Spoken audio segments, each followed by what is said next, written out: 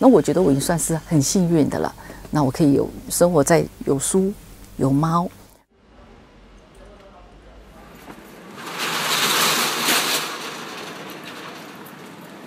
我是陈璇书店的主人。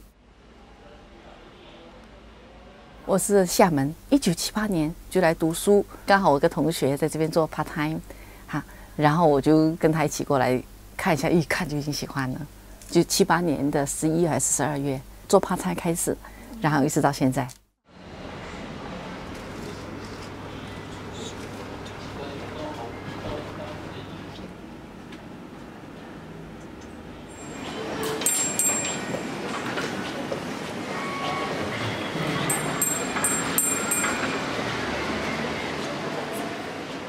对我来讲，我还是觉得，呃，二手书是，就是能做一个二手的东西很好。第一句真的环保，你一个人看和五个人看和十个人看，好，那它那个书本本身就发挥它最大最大的一个功能了。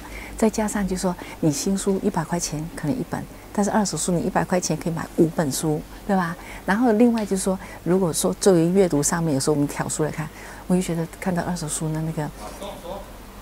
怎么说？整体的字数，我是觉得比看新书有时候还更高、更高兴、更兴奋。因为以前的作家呢，他们真的是那个功夫很扎实，呃，他们是比如读完书反奏、消化，然后再出来，就完全是属于他们自己本身的东西。和现在有一些作家呢，会比如稍微是要去晚上找资料啊，或者东抄西抄，都还没有来得及消化，然后就出来。我觉得有时候我们人遇上一个什么问题呀，因为人总是不断的思考一些事情。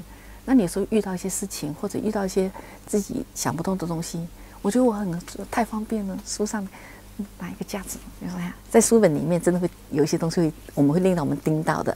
好，我觉得这个是一个阅读的一个最大的呃一个阅呃乐乐趣。还有就是除了我们说啊看故事以外，不是，我觉得阅读是来提升我们的。智慧真的是通向智慧的一个很重要的一个锁匙。这个书帮你打通了一些脉络，比如说你在阅读过程中，哇，那个真的是周围都是风光，真的是一个书店，只不过是真的那么巧有猫。大概八几年吧，我发现那个呃音乐的那个，哎，突然间怎么没有声音？原来拉八线给老鼠咬掉。然后有一个很厚的字典，一套诗本的词源，一摞的这样角落，这样全部咬掉，哦，那个是那个很心疼的。那我就因为这样子，当初真的是功能性的。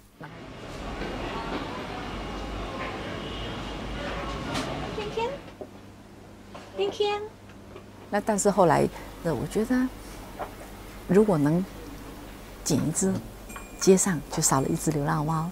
我觉得有时候我们生一对手。只要做一点点事情，哎呦，一个生命就这样子成长了。那如果可以帮他找到个家，我觉得那个是最幸福的。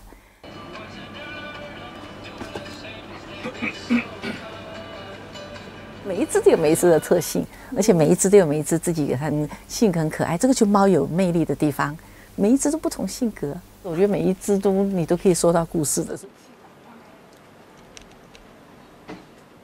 我觉得还是要沟通。我觉得最要紧是什么？你要知道动物的本性，还有就是说知道他们需要什么，而不是说我要你怎么做。不是，我觉得要站在他们的角度，也要看的从他们的那个角度来看。回到不要用人去看，不要只想哦，他们太可爱了，我想玩。他们想不想呢？对不对？从他们那边角度也想一想，不要去为了。哈哈，享受那一下，他们平时很自然的那些行为已经是很好笑了，不需要去搞那些花俏的东西。他们呃伸懒腰，那个动作也特别柔软的不得了。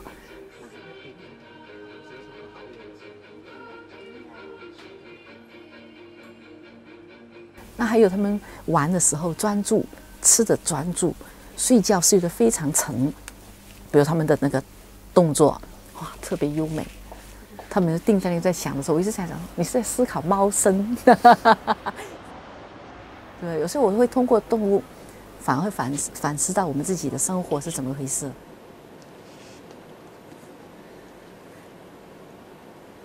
我从来没有想过退休，但是我当时有一个梦幻书店，就是书架可以真的像顶天立地。我现在基本上有一点点啦，但是我们没有那种。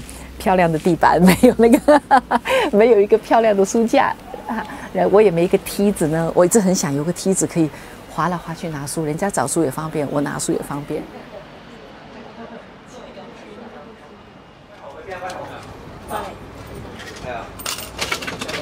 一问五代，顺着这条路慢慢走，反正每天做好每天自己的工作，自己分内的事情，那已经是行了。那天你已经享受了，已经开开心了。